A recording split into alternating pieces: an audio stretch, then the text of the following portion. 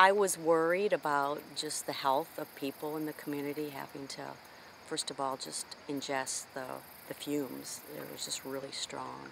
And then didn't quite know the impact um, until reading more and hearing more about it. But it was just a terrible thing. Um, and uh, Enbridge has done a lot to um, clean up. They continue to work on it.